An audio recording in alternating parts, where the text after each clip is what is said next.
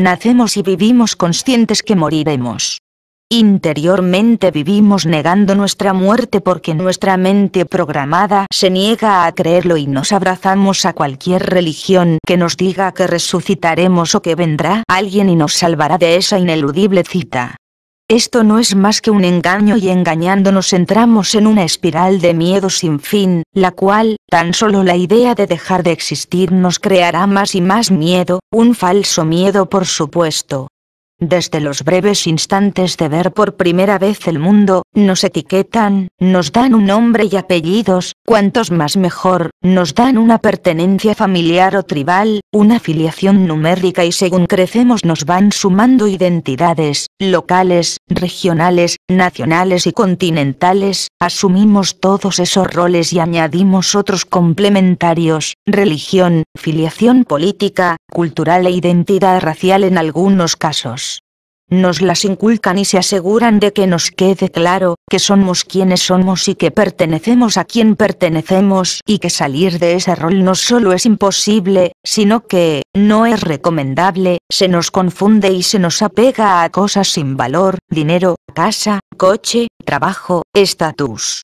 Nada de esto otorga ningún tipo de valor y nada de esto puede ser transportado tras la muerte física, pero no nos permiten hacernos a la idea de lo contrario y seguimos girando en este engranaje y lo llevamos hasta las últimas consecuencias.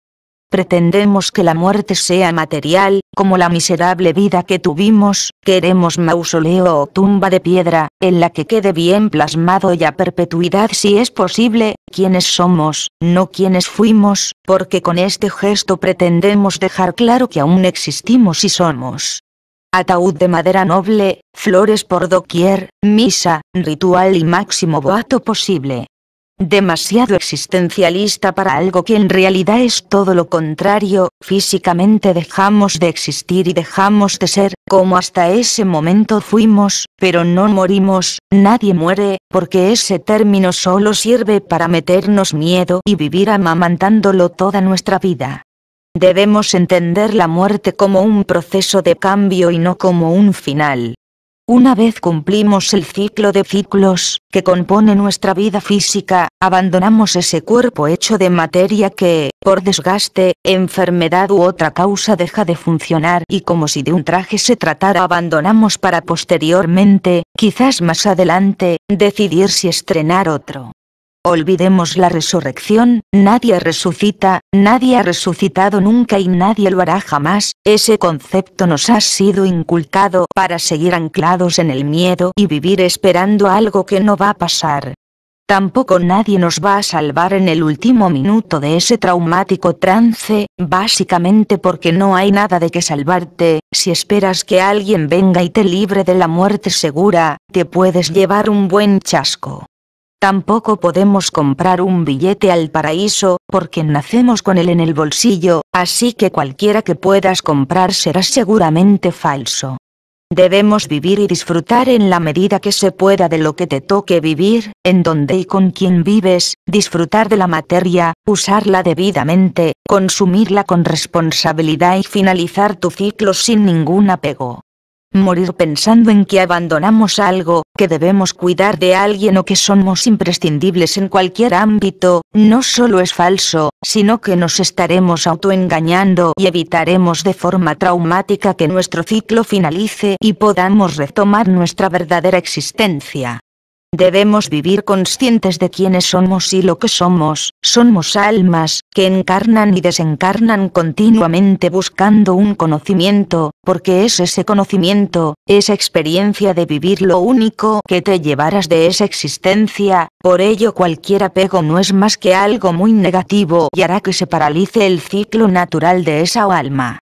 El alma desencarnada apegada a la materia o a la familia, quedará pegada literalmente a ese estadio y no podrá evolucionar a otro hasta que no despierte y retome su verdadera esencia en su existencia.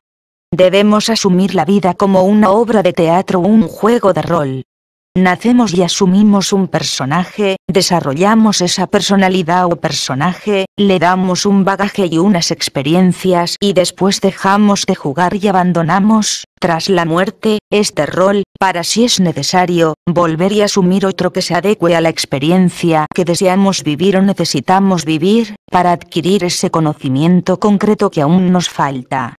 Todos debemos completar nuestro puzzle para entender nuestra existencia.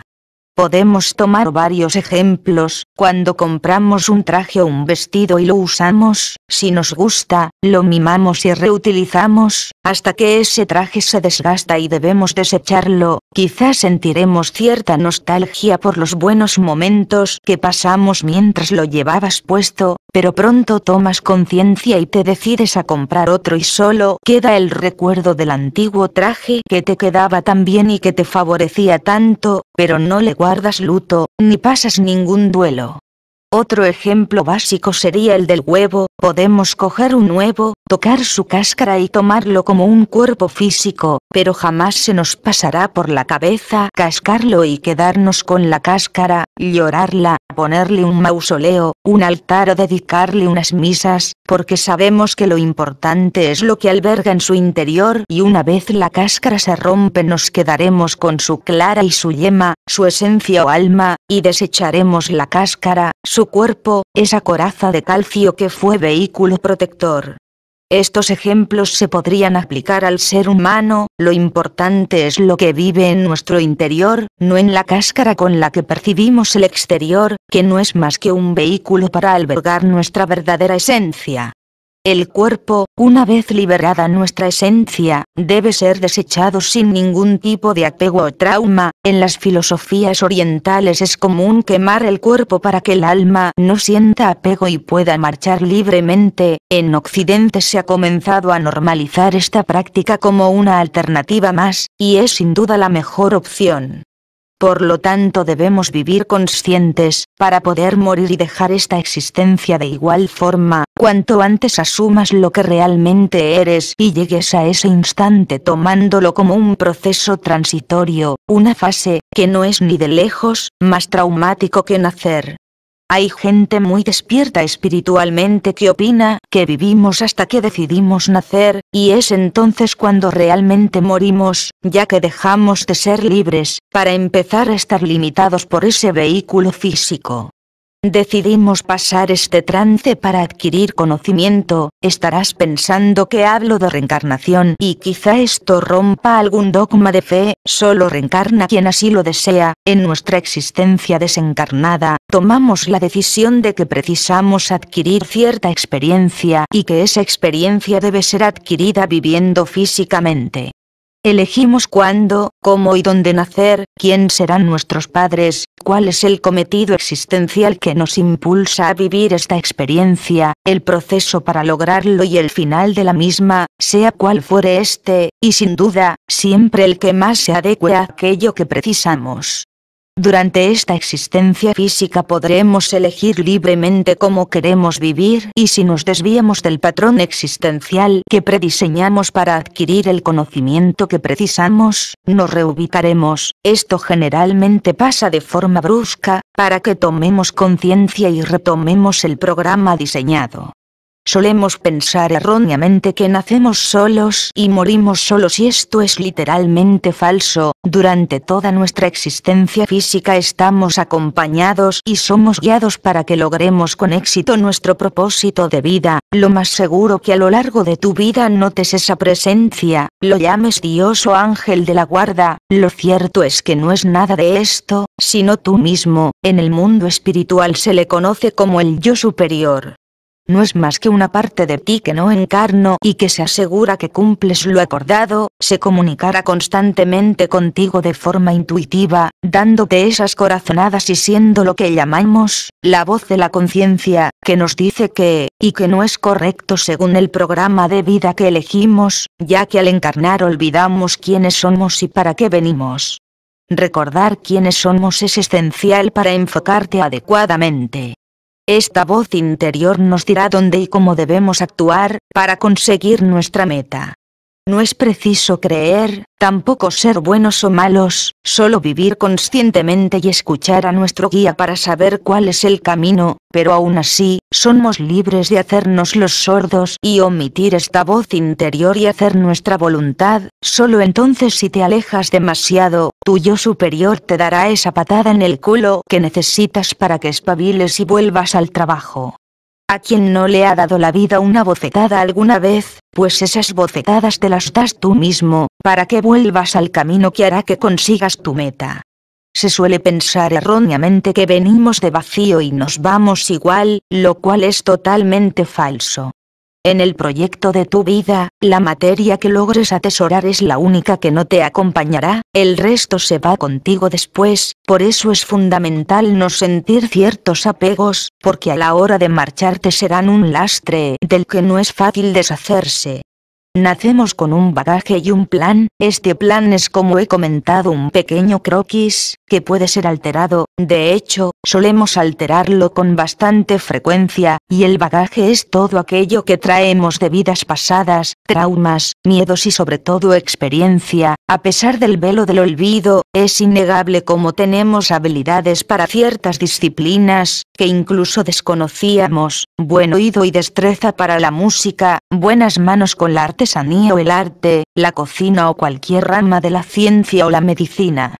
Se suele decir que es vocacional, cuando se siente cierta pasión por una actividad concreta, pero no es así, es la experiencia acumulada la que provoca un alto nivel en las distintas disciplinas, y esa vocación no es más que la consecuencia de unas cuantas vidas dedicadas a ellas, por lo tanto,